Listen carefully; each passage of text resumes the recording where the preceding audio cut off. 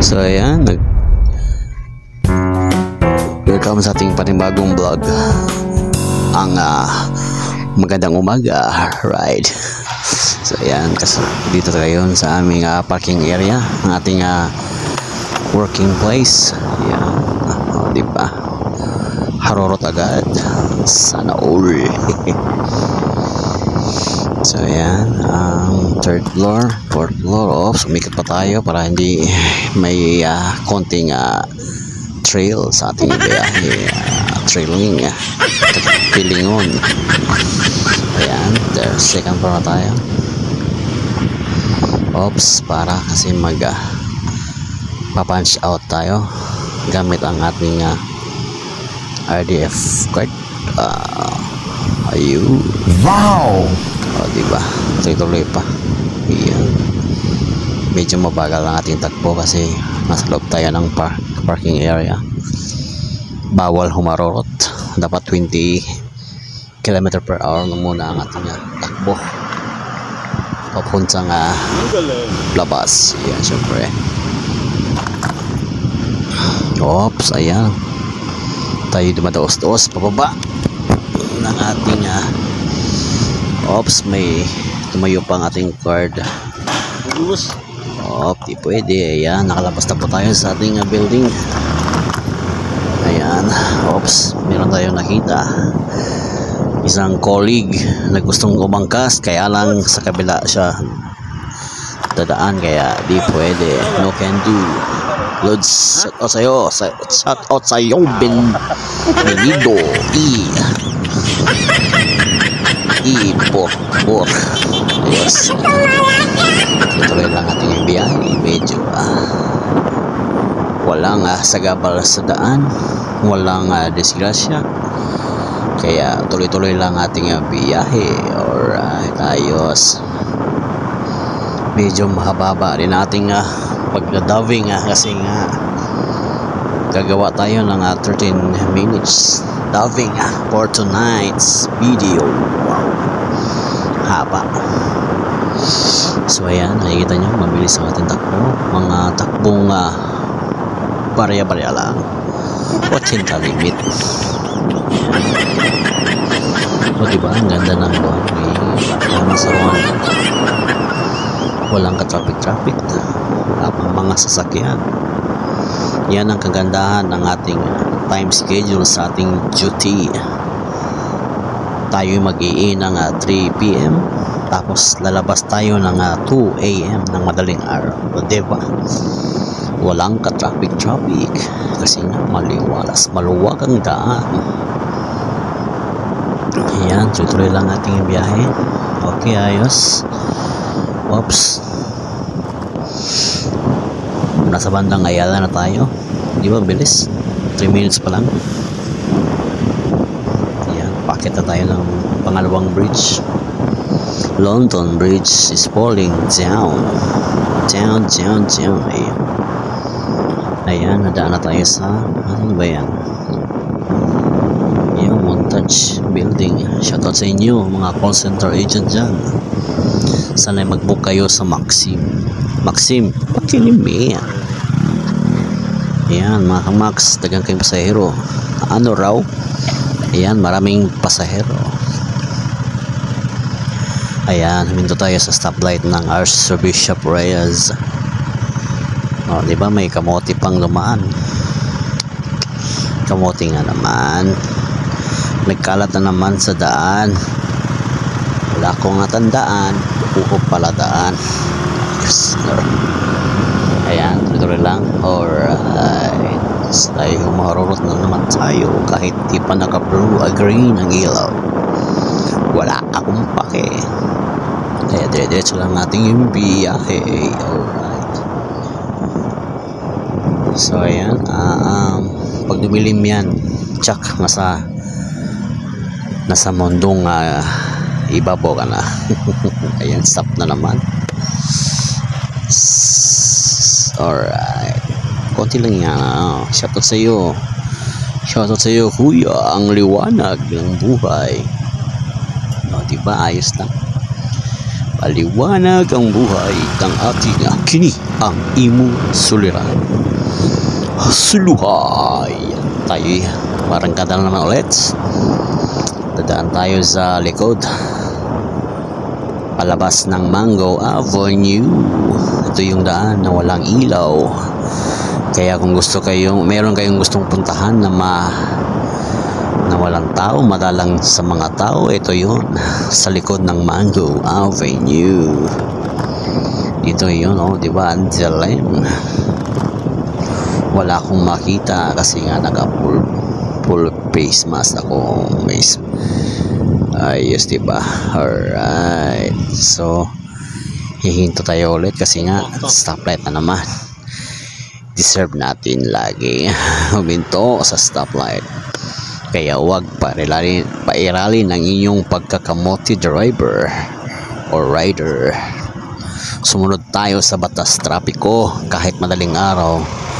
Dapat lang tayong sumunod para hindi tayo mamihasa lalo na pag umaga kung saan meron na maraming nanguhuli. Kaya lagi niyong tandaan kahit madaling araw pa yan sunod lang tayo sa batas. Huwag nating ilagay sa kamay ang ating batas. O, di ba? Ayos. Ba? Ayan. Pasok tayo ng Agozalim Street. Okay.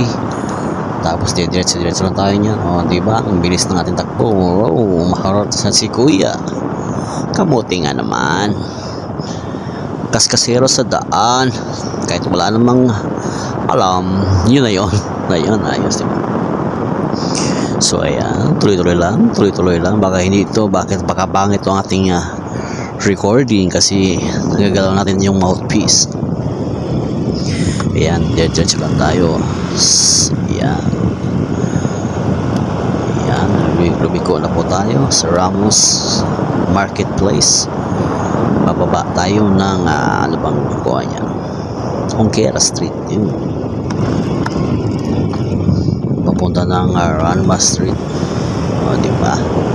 Tapos kakanan tayo. Alright papasok. Ayun harurot ulit. Paakyat tayo papunta ng uh, Jones Avenue.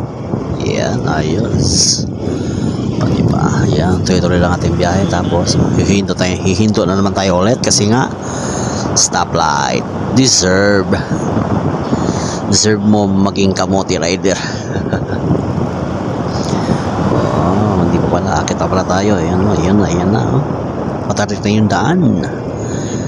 Daming daming daan. Wala namang isang daan. Ayan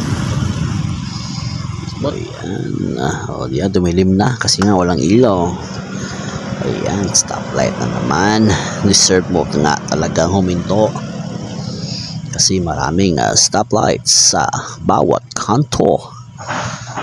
Ayan. Kung ang tubero. ano raw? Pag may bero, 1 bero at saka plus 1 bero equals 2 bero. Anong tawag sa box boxingero? Di boxingero. Bubo. Mali ko ba dyan? Hmm. Hardinero. O di ba? Ano ba? Tawag na pala ba? Bombero. O babaero. Ano yung anong tawag sa taong nakatambay sa kanto? O di ba? Yan. Assignment yun yan anong tawag doon sa mga taong laging nakatambay sa kanto. Alam nyo ba yung sagot? Stay tuned lang kayo hanggang matapos ang yung ang video na ito. Nasa dulo ang answer. Comment nyo lang kung anong tawag sa taong uh, nakatambay lagi sa kanto. Di ba ayos? Yan pag pag alam nyo yan sagot na yan.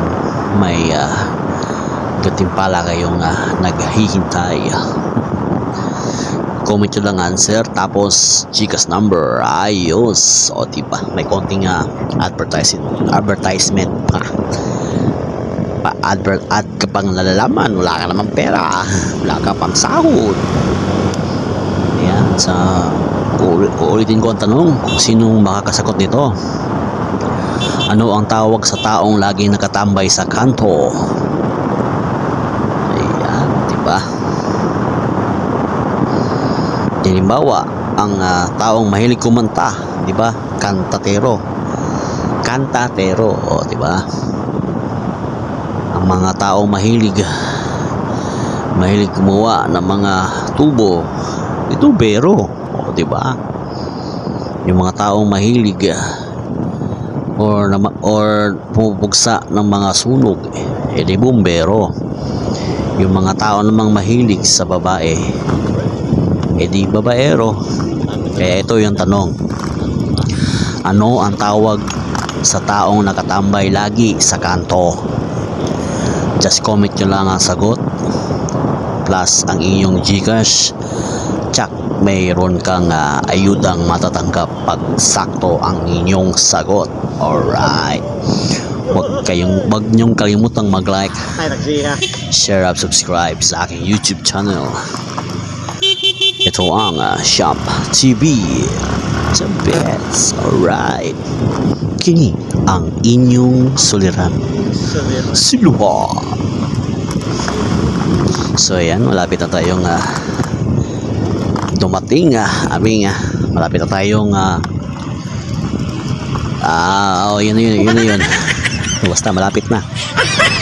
Malapit na tayo sa ating destination. Alright. Ayan, madilim na.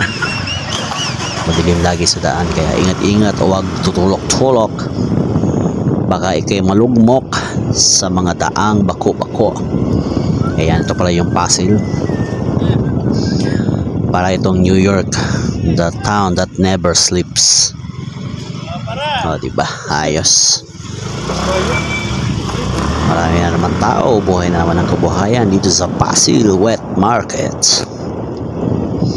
So yan, malapit na pa tayong ah, malapit na po tayo sa ating paroroonan.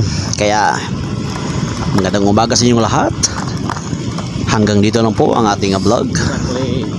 Sana sana all pagpalain tayong lahat. Naway bigyan tayo ng magandang ah, kinabukasan ng ating poong may kapal. Kaya sa unang araw dapat lagi tayong magpasalamat. Kaya salamat sa inyong lahat. Salamat sa inyong pag mapanood at nakatili, nanatili kayo nga nakasubaybay sa aking uh, kini ang imong soleran. Suluha Vlog for today's vlog. Alright, so ayan. Hanggang dito lang po. Salamat sa inyong lahat. At magandang umaga, Cebu. Good. Ayos, di ba? Sige, bye.